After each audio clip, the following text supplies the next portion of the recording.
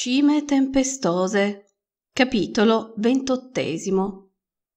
La mattina, o piuttosto il pomeriggio, del quinto giorno, udì un passo diverso che s'avvicinava, un passo più leggero e più corto, e questa volta la persona entrò in camera. Era Zilla, con il suo scialle scarlatto, un cappello di seta nera e un canestro di vimini sul braccio. Oh mio Dio! La signora Dean! esclamò. Bene, si parla di voi a Gimmerton. Ero certa che foste caduta nella palude del cavallo nero insieme con la signorina. Poi ho sentito dal padrone che eravate stata ritrovata e che egli vi aveva alloggiata qui. Dio buono, certo avete dovuto rifugiarvi in qualche isolotto, eh? E quanto tempo ci siete rimasta?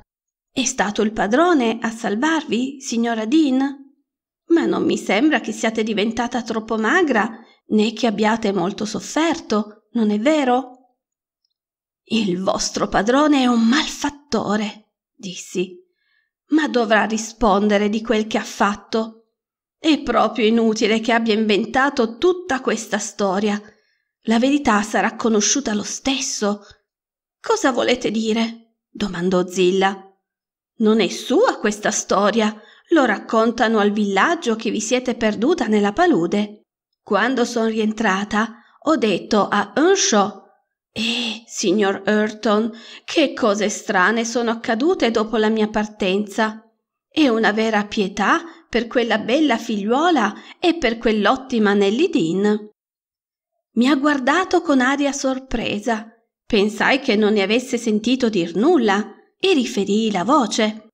Il padrone mi stava ad ascoltare, poi sorrise tra sé e disse Se sono state nella palude, adesso ne sono uscite, Zilla. Nelly Dean occupa in questo momento la tua camera. Puoi dirle d'andarsene pure quando sali. Ecco la chiave. L'acqua del pantano le era entrata in testa ed ella se ne sarebbe andata a casa tutta esaltata. Io invece ho voluto tenerla qui finché avesse riacquistato completamente l'uso della ragione. Puoi dirle di andare alla Grange subito, se ne è capace, e di annunciare da parte mia che la sua padroncina la seguirà proprio in tempo per assistere ai funerali del padre. Il signor Edgar non è morto, vero? Balbettai con voce strozzata. Oh, Zilla, Zilla! No, no, sedetevi, mia buona signora, rispose. Voi non vi siete ancora rimessa completamente. Non è morto. Il dottor Kenneth pensa che potrà resistere ancora un giorno. L'ho trovato per istrada e gliel'ho chiesto. Invece di sedermi, afferrai i miei indumenti e mi affrettai a discendere, dato che la via era libera. Entrando in sala, guardai intorno per vedere se ci fosse qualcuno in grado di darmi notizie di Catherine. La stanza era piena di sole e la porta spalancata, ma non si vedeva alcuno. Mentre stavo lì, incerta se dovessi andarmene subito o tornare invece sui miei passi a cercar la padroncina, una leggera tosse attirò la mia attenzione dalla parte del focolare. Linton era sdraiato sopra una panca, tutto solo, e seguiva con uno sguardo apatico, succhiando un bastoncino di zucchero filato, tutti i miei movimenti. Dov'è la signorina Catherine? Domandai energicamente, supponendo di poterlo spaventare, dato che era così solo, e di costringerlo a darmi delle informazioni. Egli continuò a succhiare come un bambino innocente. È andata via? No, rispose. È di sopra. Non se ne deve andare.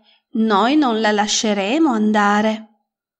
Voi non la lascerete andare, piccolo idiota? Esclamai. Mi conduca immediatamente alla sua camera, se non vuol che la faccia cantare in qualche maniera più brusca. Papà sì che ti farà cantare se tenti di andarci, rispose. Egli dice che io non devo esser dolce con Catherine, è mia moglie ed è una cosa vergognosa che voglia lasciarmi. Egli dice che essa mi odia e desidera che io muoia per poter avere il mio denaro, ma non lo avrà e non tornerà a casa sua mai più. E pianga pure e stia male finché vuole.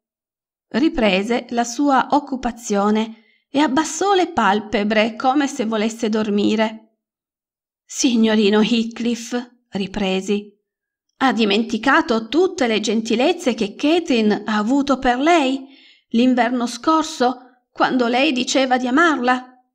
E tutti i libri che le portava e le canzoni che cantava per farle piacere, e quante volte veniva a trovarla sfidando il vento e la neve?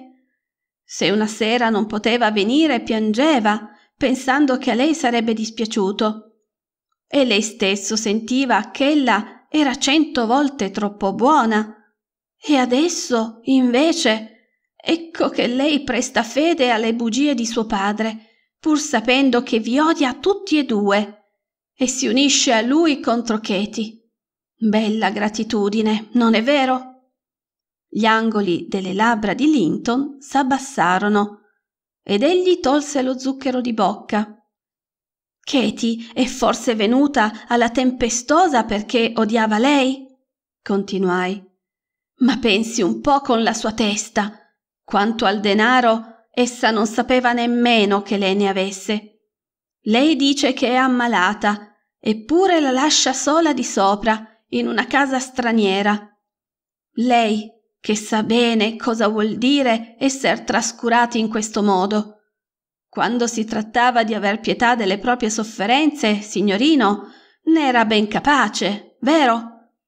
Ed essa pure era pietosa con lei. Ma adesso che è Katie ad aver bisogno di un po' di pietà, lei non ne sente un briciolo.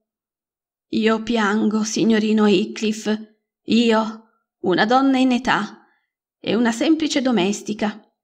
E lei, lei dopo aver finto un grande affetto, lei che avrebbe delle ragioni per adorarla quasi, serba tutte le sue lacrime per se stesso e se ne sta sdraiato e pacifico. Ah, ragazzo egoista e senza cuore. Io non posso star con lei, rispose sgarbatamente. Eppure non mi piace restar solo ma piange in un modo insopportabile e non la vuol smettere nemmeno quando le dico che chiamo il babbo. Una volta l'ho chiamato davvero ed egli ha minacciato di strangolarla se non se ne fosse stata quieta. Ma poi, appena uscito lui dalla camera, essa ricominciò e continuò a gemere, a lamentarsi tutta la notte. Sebbene io strillassi dal fastidio che provavo per non poter dormire. E fuori il signor Heathcliff? domandai, accorgendomi che quel disgraziato era incapace di sentir simpatia per le torture morali della cugina. È in corte, sta parlando con il dottor Kenneth, il quale dice che lo zio muore per davvero, infine, questa volta. Son contento perché, dopo, il padrone della Grange sarò io.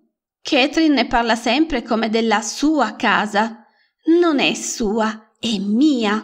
Il babbo dice che tutto quello che lei ha è mio. Tutti i suoi bei libri sono miei.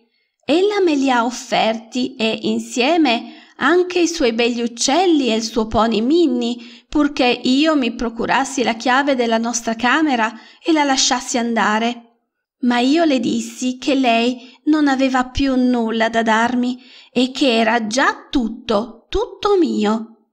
Allora si mise a piangere e si tolse dal collo una piccola miniatura e mi disse che mi avrebbe data quella. Eran due ritratti in un medaglione d'oro, da una parte sua madre e dall'altra lo zio, quando erano giovani. Fu ieri io le dissi che anche quei ritratti erano miei e cercai di strapparglieli, ma lei dispettosa non volle e mi diede uno spintone e mi fece male. Mi misi a urlare. Questo la spaventa. E lei, sentendo mio padre che veniva, ruppe la cerniera, divise in due il medaglione e mi diede il ritratto di sua madre. L'altro cercò di nasconderlo, ma il babbo chiese che cosa era avvenuto ed io gli raccontai tutto.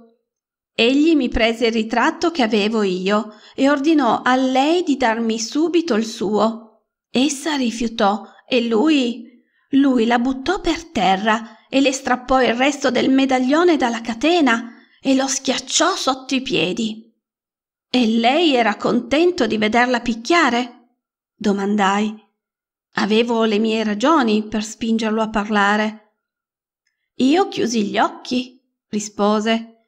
Io chiudo sempre gli occhi quando mio padre picchia un cane o un cavallo, picchia tanto forte.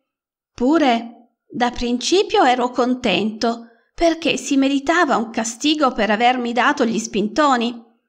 Ma quando il babbo se ne fu andato, ella mi fece venire vicino alla finestra e mi mostrò la sua guancia che s'era tagliata nella parte interna contro i denti e le riempiva la bocca di sangue. Poi raccolse i pezzetti della miniatura e se ne andò a sedere con la faccia verso il muro e non mi rivolse più la parola. Qualche volta penso che non può parlare per il dolore, ma non mi piace pensar questo. Del resto è ben cattiva a pianger sempre così, ed è così pallida e arrabbiata che mi fa paura. E lei potrebbe procurarsela la chiave, se volesse? dissi. Sì, quando sono di sopra, rispose ma adesso non posso andar di sopra. E in che stanza è questa chiave? domandai. Oh, gridò, non lo dirò a voi dove si trova. È il nostro segreto. Nessuno, neppure Urton o Zilla lo conoscono. Basta, mi avete stancato. Andatevene via, via. Appoggiò il viso al braccio e chiuse gli occhi di nuovo. Pensai che era meglio andarsene senza vedere il signor Heathcliff e condur su poi gente dalla Grange a liberare la mia padroncina. Quando arrivai a casa, lo stupore e la gioia degli altri domestici nel vedermi furono intensi e quando sentirono che la signorina era salva, due o tre di essi fecero per correre alla porta del signor Edgar a gridargli la notizia, ma invece io volli incaricarmi di persona dell'annuncio. Come lo trovai cambiato in quei pochi giorni. Se ne stava disteso come un'immagine della tristezza e della rassegnazione ad aspettare la morte. Sembrava giovanissimo, e sebbene avesse in realtà 39 anni, lo si sarebbe detto più giovane di dieci anni almeno. Pensava a Catherine perché ne mormorava il nome. Gli toccai una mano e parlai. Catherine tra non molto sarà qui, mio buon padrone, dissi piano. È viva e sta bene. Sarà qui, spero, questa sera. Tremai per l'effetto che queste parole subito gli fecero. Egli s'alzò a metà, si guardò in giro ansiosamente e ricadde svenuto. Appena ebbe ripreso conoscenza, gli raccontai la nostra visita forzata e la nostra detenzione alla tempestosa. Gli dissi che Heathcliff mi aveva costretto ad entrare, il che non era del tutto vero dissi il minor male possibile di Linton, né gli descrissi la condotta del padre di lui, essendo mia intenzione non aggiunger nuova amarezza alla sua coppa già troppo ricolma. Egli indovinò che uno degli scopi del suo nemico era quello di assicurare al proprio figliuolo, o meglio a se stesso, tanto la sua proprietà terriera quanto la sua fortuna privata ma perché poi non attendesse la sua morte, rimase sempre un enigma per il mio padrone, il quale ignorava che lui e il nipote avrebbero abbandonato insieme questo mondo. Comunque si rese conto dell'opportunità di modificare il suo testamento invece di lasciare la fortuna di Catherine a disposizione di questa, risolse di affidarla a fidecommissari che gliene avrebbero passato l'usufrutto in vita e l'avrebbero trasmessa poi ai figli di lei dopo la sua morte. Così la sostanza non sarebbe caduta tra le mani di Heathcliff se Linton fosse venuto a morire. Dopo aver ricevuto i suoi ordini, mandai un uomo a cercare il legale e quattro altri, ben armati, a reclamare la mia padroncina al suo carceriere. Tutti rimasero fuori molto tempo. Quello che se n'era andato solo ritornò per primo. Disse che il signor Green, il legale, non si trovava in casa quando egli era arrivato, che aveva dovuto aspettarlo due ore e che poi gli aveva detto di avere un piccolo affare da sbrigare nel villaggio ma che sarebbe stato a Thrushcross Grange prima di mattina. I quattro uomini pure ritornarono soli. Riferirono che Catherine era sofferente, troppo sofferente per poter lasciare la sua camera, e che il signor Heathcliff non aveva permesso loro di vederla. Diedi una buona lavata di capo a quei quattro imbecilli per aver prestato fede a una simile frottola ma non ne feci parte al padrone, decisissima a condurre tutto uno stuolo di domestici alla tempestosa sul far del giorno e a prender d'assalto sul serio la casa se la prigioniera non ci fosse stata resa con le buone. Suo padre doveva vederla, l'avevo giurato e lo giuravo, anche se quel demonio di Heathcliff avesse dovuto morir sulla soglia di casa sua cercando di opporsi. Fortunatamente quella spedizione e quella briga mi furono risparmiate. Ero discesa alle tre per attingere una brocca d'acqua e stavo attraversando il vestibolo appunto con la brocca in mano quando un colpo secco picchiato alla porta principale mi fece sobbalzare. Ah, sarà Green, mi dissi riprendendomi. Non può essere che Green e proseguì con l'intenzione di mandar qualcun altro ad aprire. Il colpo fu battuto di nuovo, non pesante, ma impaziente. Deposi la brocca ai piedi della ringhiera e mi affrettai ad aprire. Fuori brillava limpida la luna piena. Non era illegale. La mia cara padroncina mi saltò al collo singhiozzando.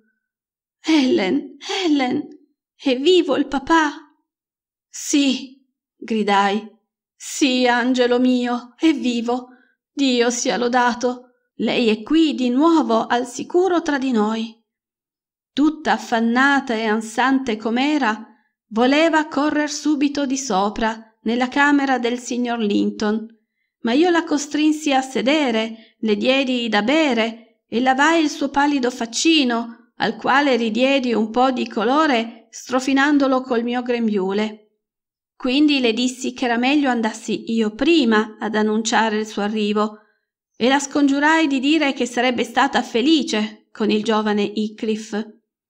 Mi guardò stupita, ma comprese subito perché le consigliassi di dire una simile menzogna e mi assicurò che non si sarebbe lagnata.